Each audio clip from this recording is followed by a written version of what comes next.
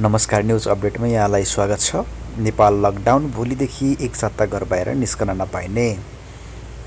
सरकारले भोलि मङ्गलबारबाट सर्वसाधारणलाई घर बाहिर निस्कन रोक लगाएको छ। कोरोना भाइरस कोभिड उन्नाइसको सङ्क्रमण भेटिए लगत्तै सरकारले देशलाई पूर्ण रूपमा लकडाउन गर्ने निर्णय गरेको छ।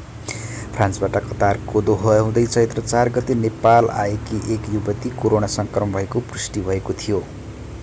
कोरोना सम्बन्धी उच्च स्तरीय समितिको सोमबार बसेको बैठकले भोलि मङ्गलबार बिहान छ बजेबाट एक सातासम्म सर्वसाधारणलाई घरबाट बाहिर निस्कन रोक लगाएको हो।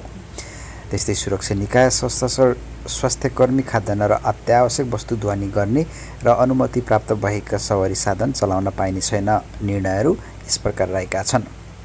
औषधि उपचार खाद्यवस्तु जस खरिद जस्ता अत्यावश्यक काममा बाहेक कुनै पनि व्यक्ति घरबाट निस्कन पाइने छैन।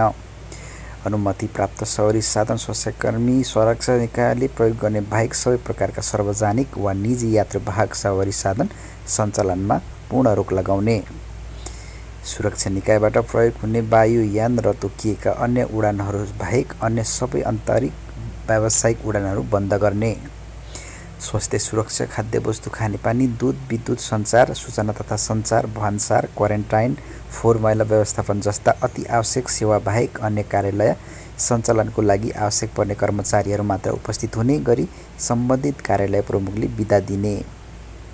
औषधि तथा स्वास्थ्य उपकरण खाद्यवस्तु खानेपानी दुध इन्धन उत्पादन गर्ने उद्योगहरू बाहेक निजी क्षेत्रबाट सञ्चालित अन्य उद्योग कल कारखानाहरूमा काम गर्ने श्रमिक कर्मचारीलाई सम्बन्धित उद्योगले बिदा दिने व्यवस्था मिलाउने। व्यवसायीहरूले औषधि र औषधिजन्य सामग्रीहरूको नियमित आपूर्तिको व्यवस्था गर्ने अभाव देखाइ मूल्य वृद्धि गर्ने वा कालो बजारी जम्माखोरी गर्ने वा लुकाउने वा आपूर्तिमा अवरोध गर्ने व्यक्तिलाई प्रचलित कानुन बमोजिम नियन्त्रणमा लिने सामग्री जफत गरी रोगको रोकथाम र उपचारको कार्यमा उपयोग गर्ने।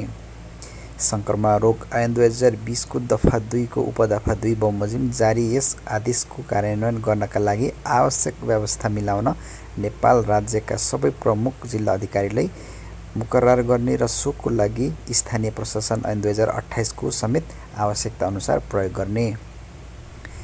सङ्क्रमण रोग ऐन दुई हजार बिस अन्तर्गत जारी आदेशको अवहेलना गर्ने वा काममा बाधा पुर्याउने व्यक्तिलाई सोही ऐन बमोजिम सजाय हुने।